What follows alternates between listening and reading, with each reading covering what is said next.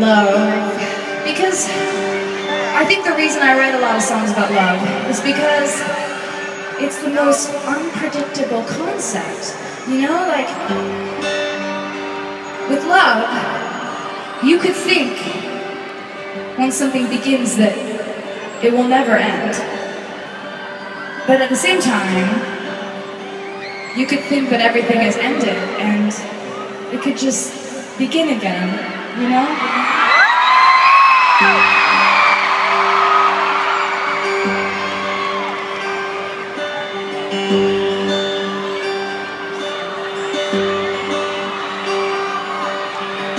Took a deep breath in the mirror Didn't like it when I wear high heels But I liked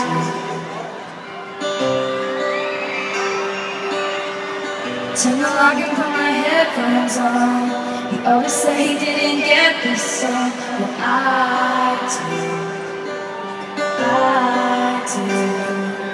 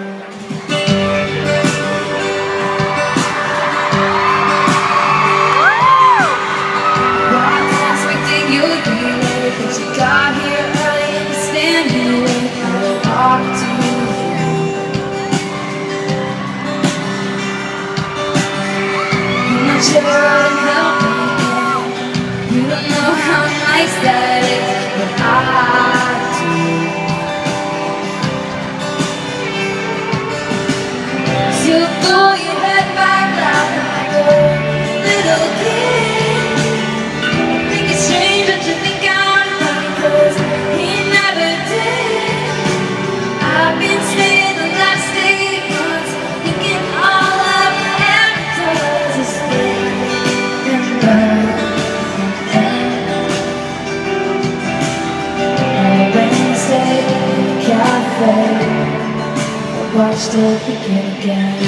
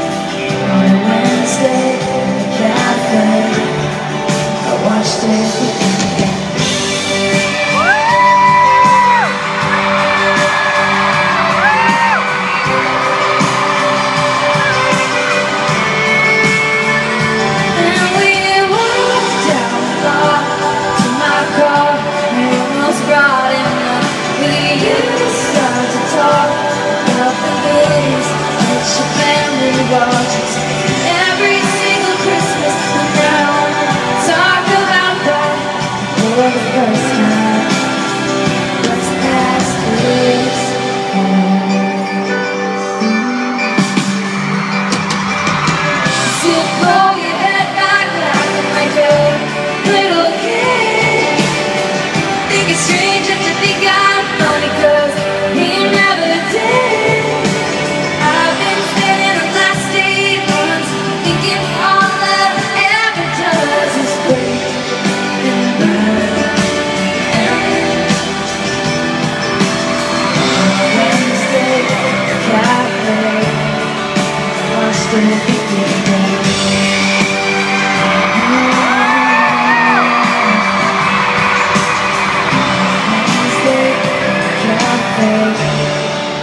Watch it again again.